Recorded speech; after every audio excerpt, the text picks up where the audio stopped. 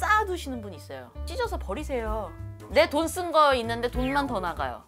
이걸 알려드려야지 뭘 넣으면 좋고 뭘 가지고 다니세요는 사람마다 달라요. 점을 봐야지 알기 때문에 제가 함부로 말할 수가 없어요.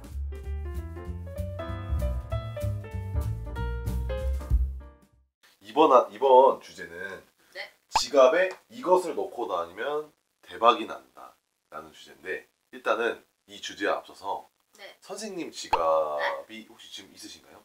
지금 옆에 있어요 가방에. 네, 지갑을 네, 일단 꺼내주세요. 에? 지갑을 꺼내주세요. 오케이 지갑 뭐, 뭐 명품인가요? 버버리.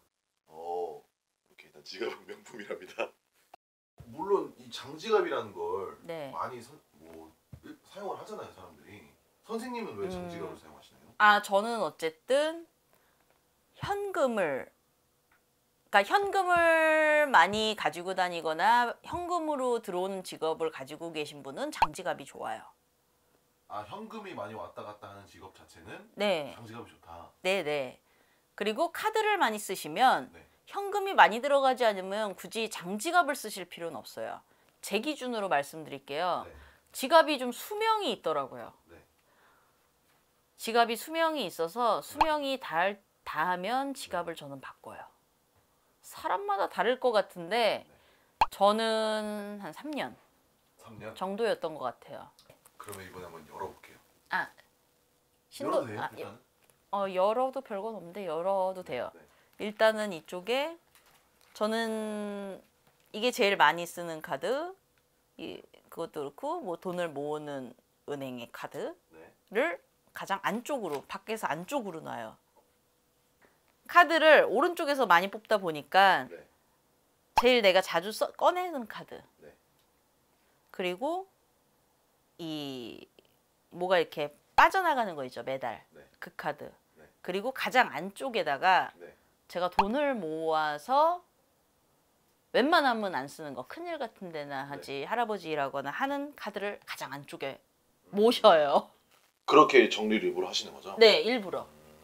이거는 한번 어쨌든 돈 드는 건 아니니까 따라 해볼 만한 것 같은데. 예, 이거는 진짜 좋. 저 이걸 항상 지켜요. 근데 이걸 자리를 바꿔보고 막 이랬는데 여기에서 자꾸 돈이 나가니까 모으는 쪽에서 나가면 안 되니까 안쪽에다가 보관하는 거예요. 음. 이것도 제 방법 중에 하나. 이건 제 개인적인 방법이에요. 네. 신분증은 저는 안 보이게 해요. 어. 신분증을 꼭 중앙에 중앙 칸에다가 넣는데 네. 중앙 칸 앞에 그 이거 하이패스인데 네. 이렇게 좀 가릴 수 있는 걸로 신분증을 꼭 가려놔요. 혹시 이유가 있나요? 글쎄 내 이름 얼굴 이런 거 열, 열 때마다 누구한테 이렇게 벌려서 보여주는 게 별로 좋다고 생각 느낌이 안 들더라고요. 그래서 제가 이거를 계속 그렇게 해요. 음. 그리고 네. 5만 원짜리가 이렇게 있고 네. 그 앞을 만 원짜리를 둬요. 네.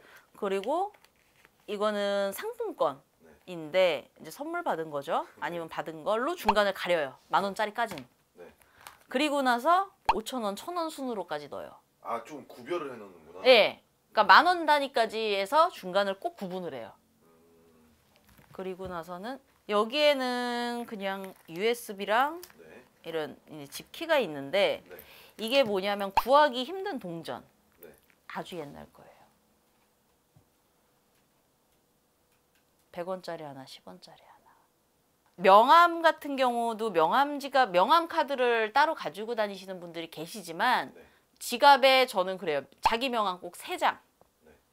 해서 다섯 장까지는 가지고 다니시라고. 너무 많이도 말고. 네. 지금 전 다섯 장이었다가 한 장을 드리게 돼서 네 장이 들어 있는데 네. 네. 꼭 자기 명함을 요 맨 앞쪽 있잖아요. 네. 이게 지갑을 닫으면 맨 윗칸이잖아요. 네. 근데 다른 사람 명함 넣는 거 별로 추천하지 않아요. 아 그래요? 받았을 때 따로 정리하세요. 왜냐 이게 남의 돈 같잖아. 그런 느낌이 들어요. 그래서 자기 명함을 세 개에서 다 세 장에서 다섯 장, 다섯 장 정도는 명함 지갑이 있더라도 맨 앞쪽에다가 넣으시는 게 좋고 영수증, 영수증을 막 쌓아두시는 분 있어요. 영수증은 찢어서 버리세요. 내 돈 쓴 거 있는데 돈만 더 나가요. 이걸 알려드려야지 뭘 넣으면 좋고 뭘 가지고 다니세요는 사람마다 달라요. 점을 봐야지 알기 때문에 제가 함부로 말할 수가 없어요.